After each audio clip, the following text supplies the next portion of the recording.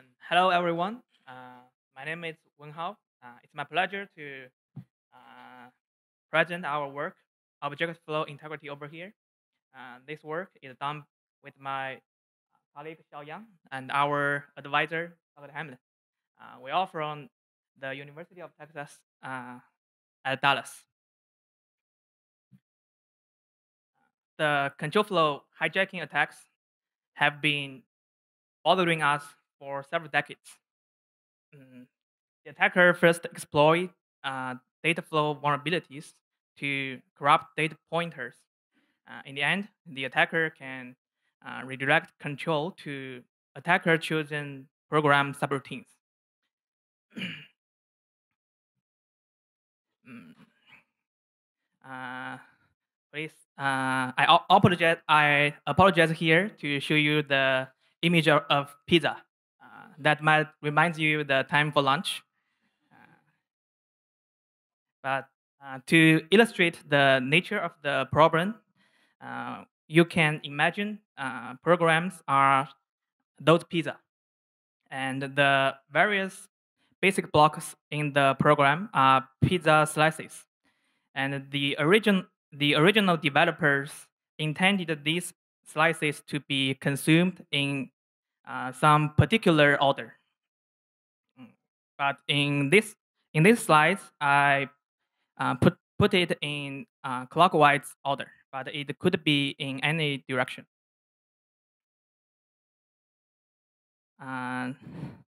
so after the attacker hijacks control of the program, uh, the the attacker can uh, can cause the pieces to be consumed in any order. Uh, for example, uh, uh, in our lab, my colleague Xiaoyang is a pepperoni uh, lover. Uh, if he is the, the, attacker, he can consume the uh, pepperoni slices repeatedly.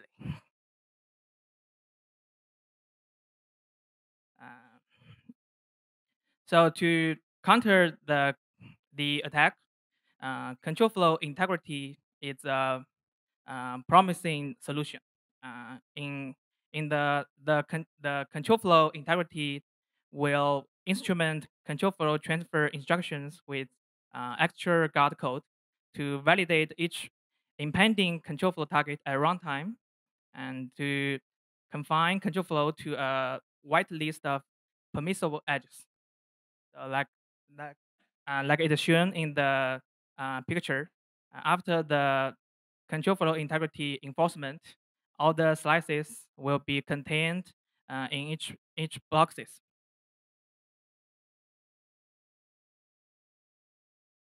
Mm, there have been uh, all of these impressive works that solve various problems in implementing control flow integrity guards. And some of them are for compile time solutions, and other works, other work, others work uh, on uh, binary directory. But it turns out that there are large classes of consume, consumer software for which none of none of these approaches are directly applicable. And one of bigger categories out there is that a lot of software targets proprietary operating systems and uh, all these prior approaches require that all modules in this system be transformed with uh, CFI protections.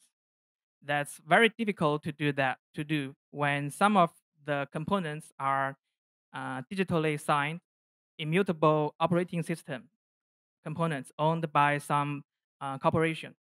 And you can you can see uh, in the chart uh, uh, a large market share of consumer consumer desktop applications fall into that category, namely uh, Windows and uh, Mac OS.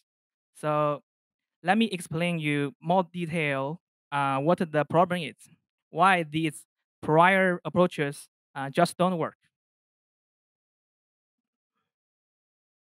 The problem that the problem is that these um, proprietary operating systems have large trusted components that have huge object-oriented interfaces. And these components are immutable. They are not easy to change because they might be digitally signed or dynamically loaded from a cloud.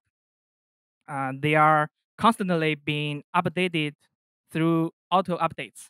So it's just not feasible to uh, modify them directly at the binary level. Uh, there have been various proposed solutions to this problem in prior works. Uh, one category uh, is called uh, V-table integrity that involves modifying the trusted module to protect the objects that's being that have that are being exchanged. But if you cannot change the trusted module, then those defenses don't easily apply.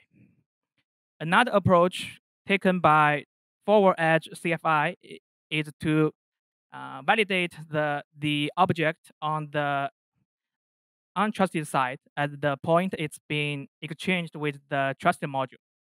But that doesn't work if the trusted module retains a reference to that object after it returns. Because in that case, the untrusted module can then corrupt the object without exchanging, uh, leaving the trusted module in position of a corrupted object. Uh, and the same problem occurs with uh, multi-threaded software. A third potential solution uh, proposed by uh, Microsoft Control Flow Guard uh, MCFG is the idea that maybe we should maybe we should just uh, uh, apply the same CFI defense into all modules that are released by all software vendors. But there is obviously a uh, scalability issue over there. It's very difficult to convince all vendors to comply with the same CFI protection system. And no and, and no one CFI system is perfect for everything. For example, for example, uh, MCFG does not protect does not protect against return-oriented programming attacks, and many other CFI protect, protection systems do. So we'd like to have a more cross-compatible solution. And to demonstrate the deficiencies of, of these prior works, in our paper, we implement something we called a confused deputy assist counterfeit object-oriented programming attack. It successfully hijacked Windows software applications even with MCFG enabled, even with uh, V-table protection enabled, and even with uh, valid validation of objects at points of ex exchange. Uh, so our system, uh, object flow integrity, uh, is a systematic methodology for uh, imbuing CFI with first-class support for immutable trusted module with object-oriented API. Uh, we construct a prototype, prototype implementation, and we also invent a novel approach to automatically synthesize the implementation. And uh, our system have has uh, low performance overhead under 2%. Uh, before I show you the implementation details of how we accomplish this, I want to show you the results we obtained. Let me show you the performance that we got. Uh, we used our system to protect a set of proprietary applications for which none of the prior works, as far as we know, uh, can be successfully applied because they they all require changing all some system modules in order to provide uh, complete protection. And uh, for each of these applications, we obtain very low runtime performance overheads under 2%. The only exception is our synthetic exploit, which, uh, which has high overhead because it's actually an attack. So it so it gets uh, stopped. Uh, we also performed a, a, thorough security evaluation in which uh, we launched uh, counterfeit object-oriented programming attacks and uh, code coup attacks against these applications. And all of all of the attacks were blocked. And uh, we achieved this without performing modification to the proprietary system modules on these operating systems. So, uh, how do we uh, achieve that? Let me explain the de the design and the, the implementation. Uh, the solution that we adopted centers on the on the idea of object object proxy. So instead of attempting to uh, protect an object that is exchanged between these two modules, we actually substitute the exchanged object with a different object, a proxy object. Uh, that way, these two modules actually are not directly sh sharing objects anymore. So, re so removes the attacker's opportunity to corrupt an object that's being held by a trusted module.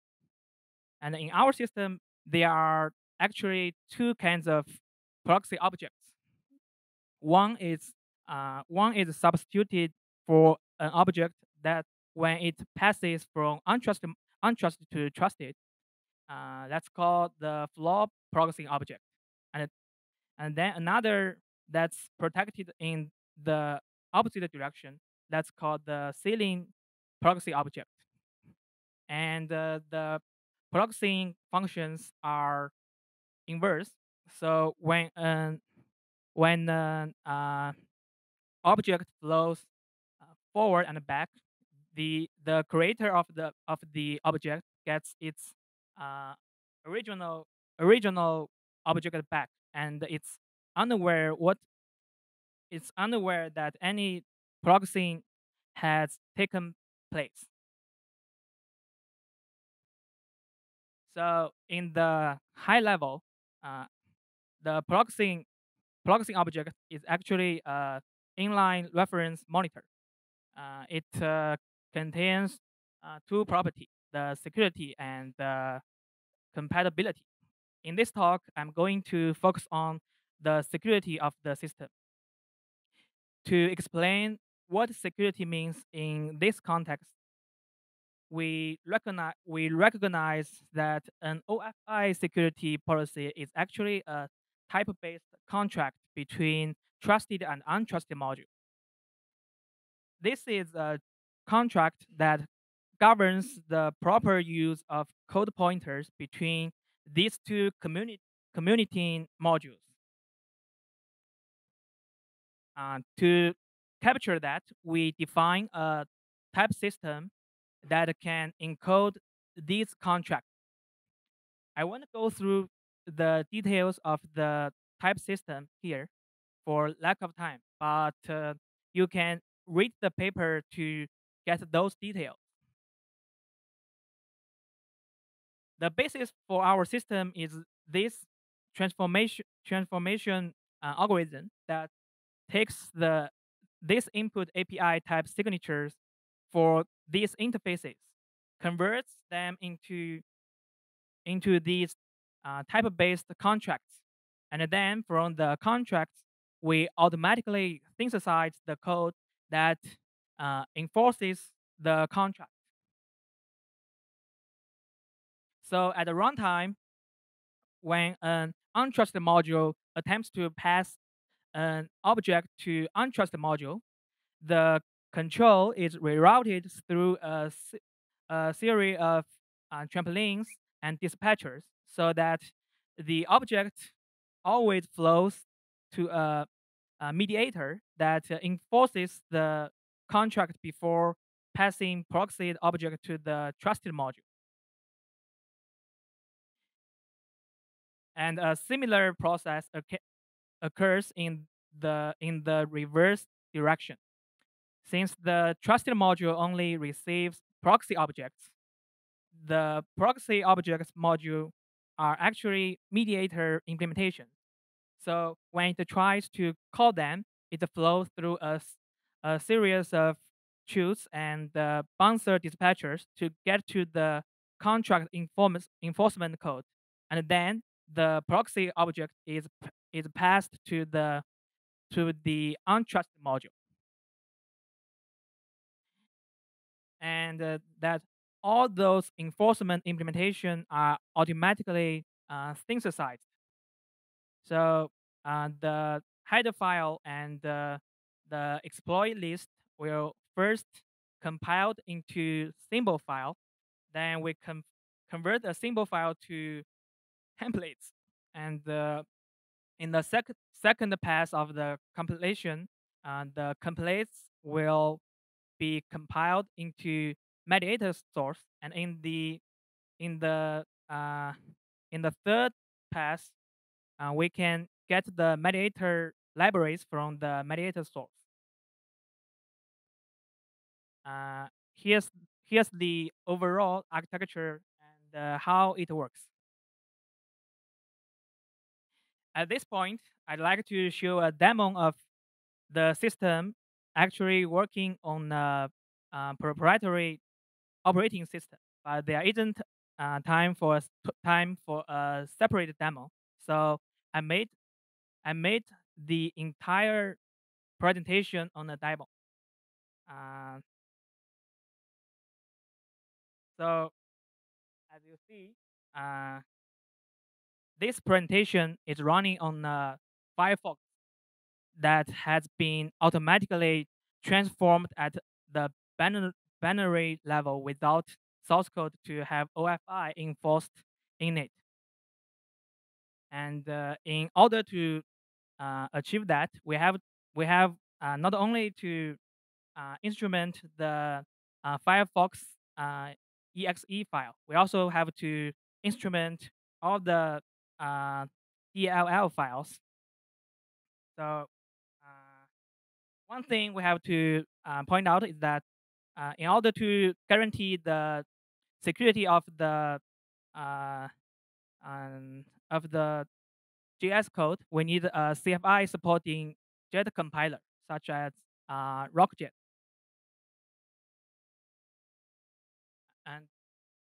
This demo shows that our approach scales to large pieces of software that are very complex and uh, doesn't require source code.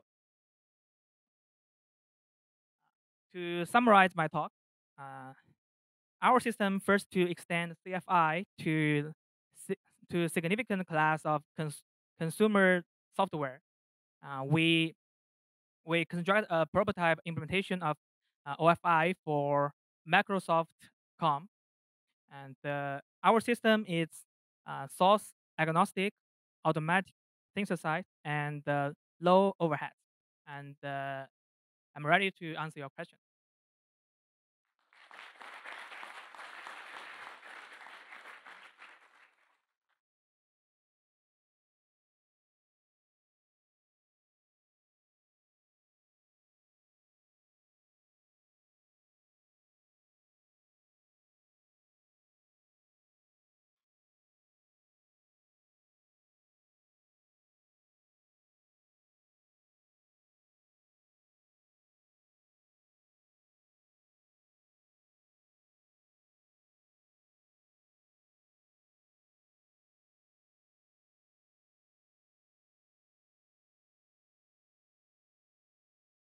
Yeah, get exactly.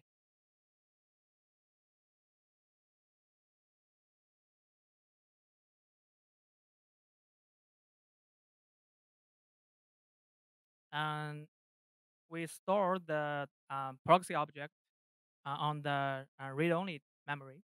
So, and also we have a hash table to uh, store them. So the attacker, uh, even he can uh, know the location of the proxy object uh, the when the proxy object is the method of the proxy object is called, it still needs to go to the mediator. Then the mediator can uh, verify whether the uh, next jump target is obey to our security policy.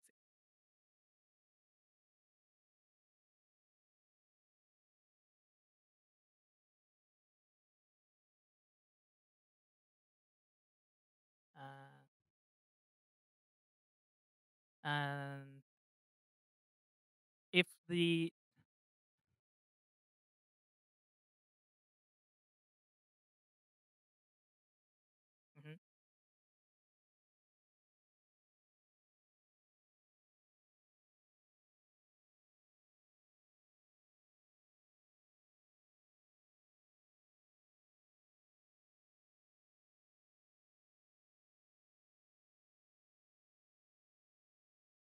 because it is the proxy object that that are given to the trusted module. So when the trusted module have to call the method of the object, it will call the uh, the method of the proxy object. So even the attacker can uh, corrupt the original object. The control flow when the control flow goes from the trusted module to untrusted module, the uh, the call to the proxy object will go to our proxy object uh, implementation. Okay. Okay, Gang from Penn State. This is now open. Anyway, I just asked. Uh, so maybe I understand wrong here. Uh, but are proxy objects uh, copies of the original objects? If, if they are copies, do you have multi-threading issues? Because if one module. Uh, yes, we have the. Uh, not, we don't have the multi-thread issue, but we have the solution for the uh, multi-threaded uh, uh, schedule. But but we we don't we don't just copy the original project. We just create a, a a common uh, V table for our proxy object, and uh, through the proxy object, we we can we have a hash table to uh, store the original object. So through the proxy object, we can get the original object. So you don't copy data from the original. No, we don't object. copy.